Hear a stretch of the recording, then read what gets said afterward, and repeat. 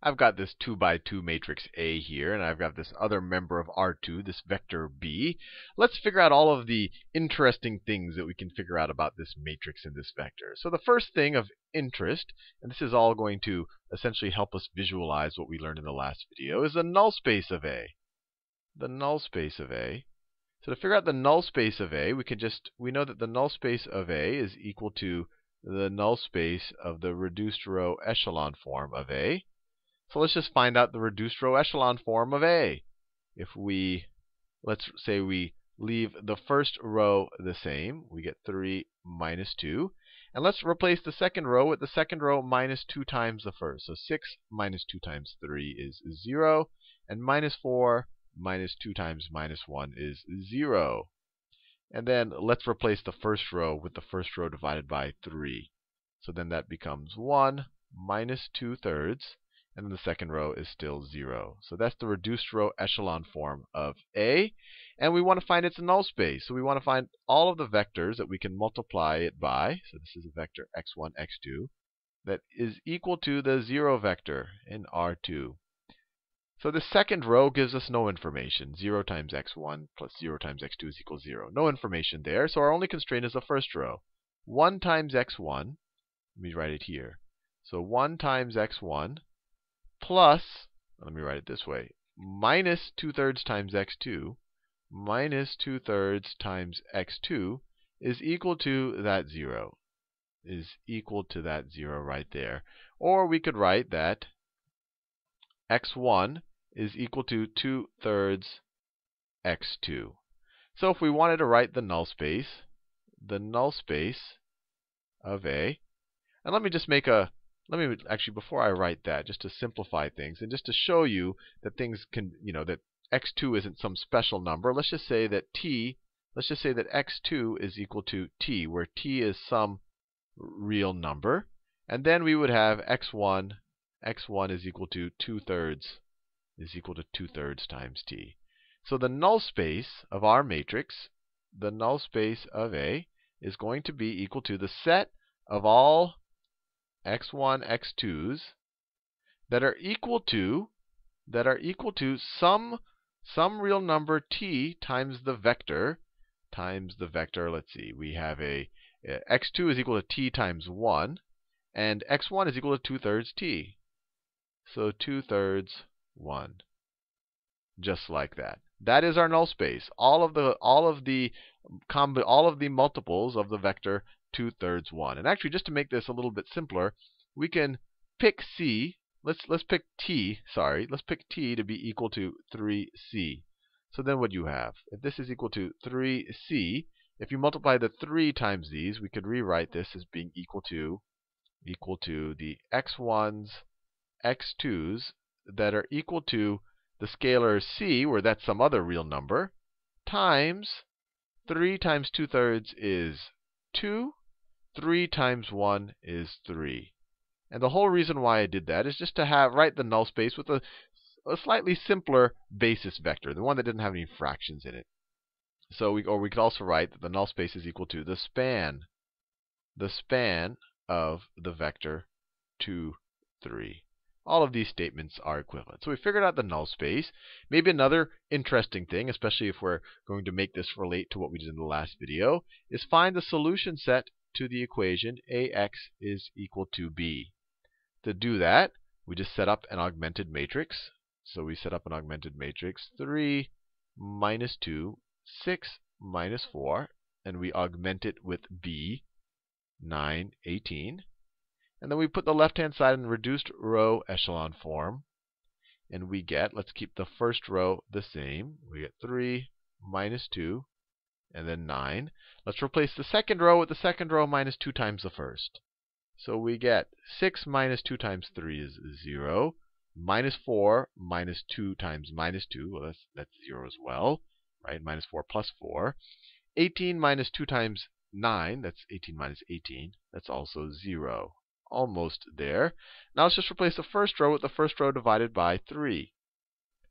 So the second row is going to stay the same. And the first row is going to be 1 minus 2 thirds, 1 minus 2 thirds, and then we get a 3 there. So we can write.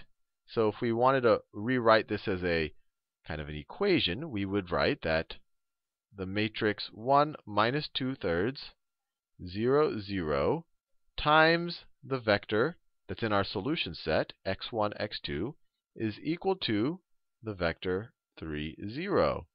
Or another way to say it, the second row gives us no real constraint, so we don't have to pay attention to it. The first row tells us that x1 minus 2 thirds times x2 is equal to is equal to 3. Or that x1 is equal to 3 plus 2 thirds x2. Now let's do the same exercise here. We could say that if we say that x2 is equal to t, then x1 is equal to 3 plus 2 thirds t.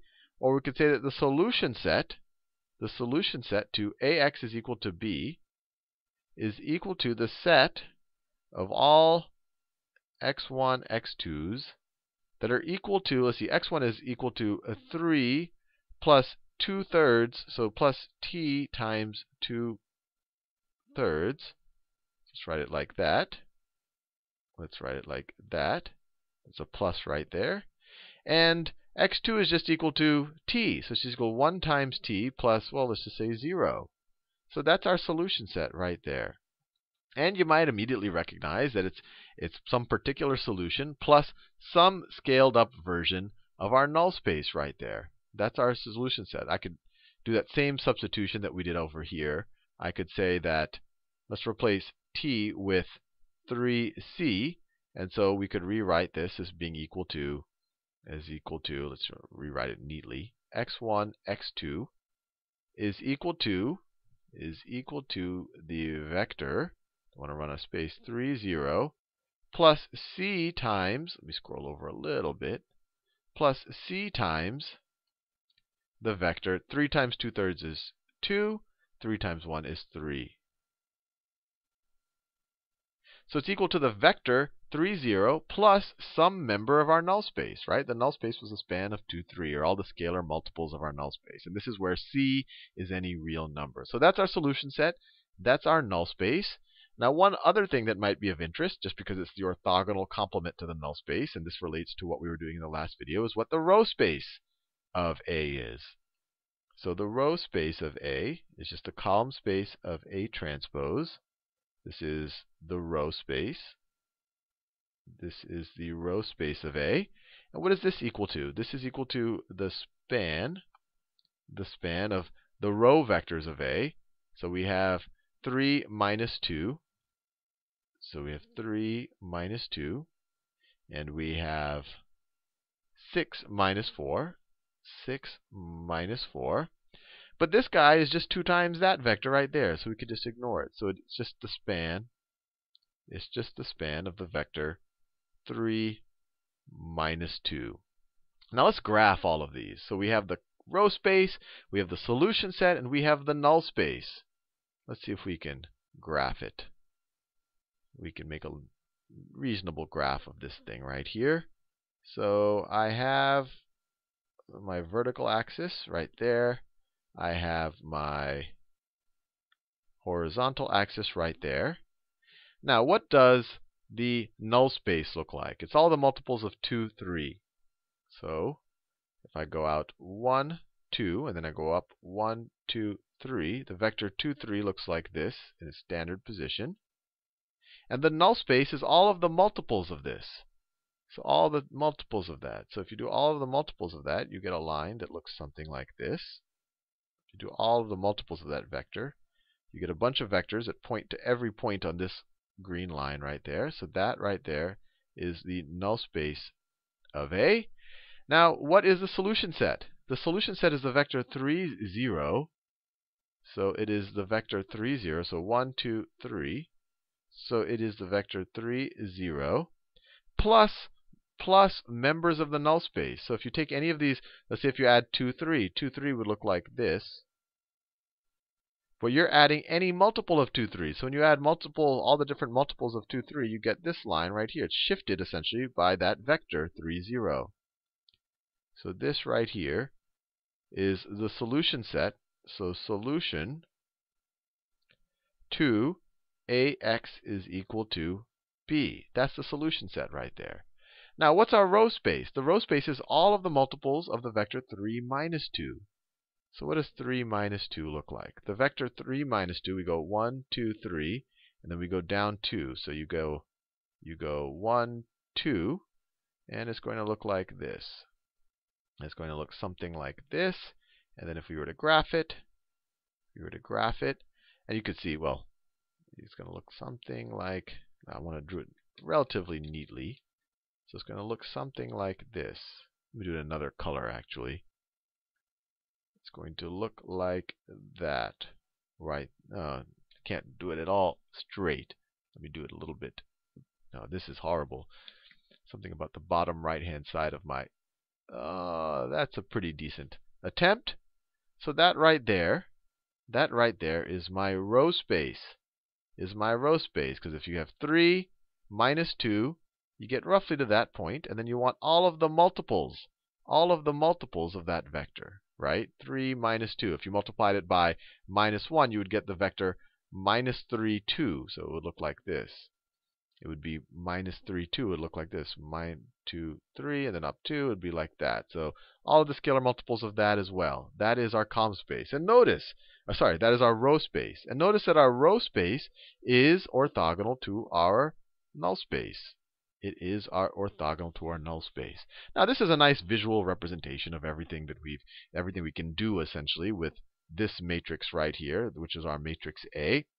But in the last video, we had a very interesting result. We had a very interesting result. We said that if we have some b, let me do it in a new color. We found out that if we had some b that is a member of the column space of A, then the solution with the smallest length, or we could say the smallest or the shortest, the shortest solution to ax is equal to b is a unique is a unique member is a unique member of of the row space of the row space of A. Now let's see. This is what we this is what our big takeaway from the last video, and it might have seemed a little hard to visualize before, but now that we've graphed it all out, I think we can visualize it. This blue line right here is a solution set.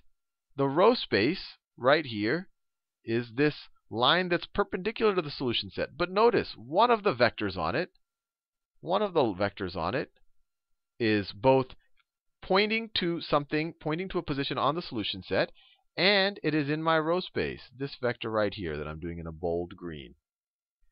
That vector right there, we could call that vector r, because that vector is both a member of my row space, right? It points it points, if you view it as a position vector, it points to a point on the line that represents our row space. All of the members of our row space point to points on this line.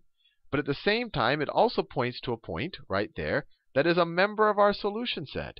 And notice, it is the only vector in our row space that points to a point that is a member of our solution set. And if you just look at it from a geometric point of view, all of the other solutions all of the other solutions point to all of the other points on that line. So that's one of the solutions. Let me write. That's a solution right there. This is a solution right there. That is a solution right there. All of the vectors that point to point to things on this solution line right there. There's all solutions, but the very shortest one is this green one. This green one is essentially orthogonal to it because it's a member of the row space, and this is essentially has the same slope as our null space. It's orthogonal, so it's kind of the shortest path distance to getting to our solution set. And if for this exact example, if we wanted to, we can actually figure out what this shortest vector r is. We've got the vector 3, 0 over here, right? The vector 3, 0 is this vector right here. So if you take 3, 0 minus your vector, so let me say r, let me write it this way. Our vector r, the special shortest solution, it's going to be a member of our column space. Our column space is a span of 3 minus 2. So it's going to be equal to some scalar multiple of 3 minus 2. Now, we know that 3, 0 points to another solution on our, on our solution set. But we know that if we take the difference of these two vectors, if I take 3, 0, if I take the vector 3, 0, and from that I subtract the vector r, what do I get? I get this vector right there. Let me do that in another color. I get this pink vector right there. That pink vector, it's not in a standard position, but that pink vector is going to be a member of our null space. That pink vector is going to be a member of our null space. So if I take 3, 0, that minus my r, so minus c times 3 minus 2, right? That's going to be this pink vector right there. So if I were to take the dot product, so this vector right here, let me make this clear. That vector is this pink vector right there. That's in my null space. I could shift it over, right? It's not in standard position there, but if I do it in standard position, it shows it points to something on my null space line. So that's in my null space. So if I were to dot it with any member of my row space, is going to be equal to 0. The row space is the orthogonal complement of the null space. So let me take the dot product of that with some member of my row space. Might as well just take the basis vector for my row space. That's a member of my row space. So if I dot it with 3 sorry, I don't shouldn't write that as a fraction. 3 minus 2, if I dot it with 3 minus 2, that will be equal to 0. So let's see if we can solve for c. So we get, let's see, if we do this, we get this inside part, this pink vector right there is going to be 3 minus 3c, right? 3 minus 3c. And then you're going to have 0 minus minus 2c. So that's just 2c. So that's so this part right here just simplifies to that. I just perform the scalar multiplication and then the subtraction. And then if we dot that with my basis vector for my row space, 3 minus 2, this should be equal to 0. So what do we get?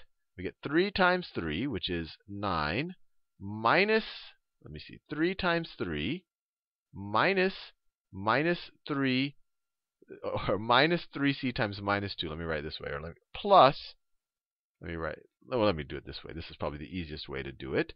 Well, sorry, I was actually doing it wrong. this is the first entry. So you have 3 minus 3c times 3, right? 3 minus 3c, the first entry times the first entry here, plus 2c plus 2c times minus 2 is equal to 0. I was performing that dot product in a strange way. I think I got a little caught off guard by these two terms. But anyway, the first term times the first term plus the second term times the second term.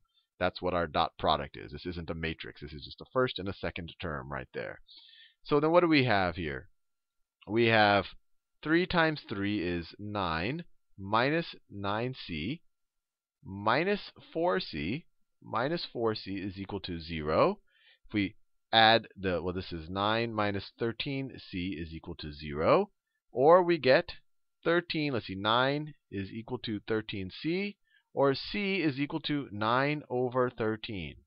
So just like that, we've solved for our special vector r. We said, hey, look, if you take this 3, 0 vector, and the difference between that and our vector r, you're going to get some vector right here that is in our null space. And if you take the dot product of that with some member in our row space, you're going to get 0. And the dot product is that entry times that entry plus that entry times that entry. And so you get c is equal to 9 over 13. So our special vector, r, the unique shortest solution to the, so, to the equation ax is equal to 0 is 9 over 13 times the vector, times our basis vector, 3 minus 2. Or we could write that as 20 27 over 13, right? And then we have 3 times 9, and then 2 times 9 is minus 18 over 13. And that right there is our shortest basis, or our not shortest basis, the shortest vector in our row space that satisfies this equation. Let me write it better. It's the, the, it's the member, the unique member of our row space that also happens to be the shortest solution to ax is equal to b. So this is an example of what we talked about in the last video. And hopefully you see visually why this is so.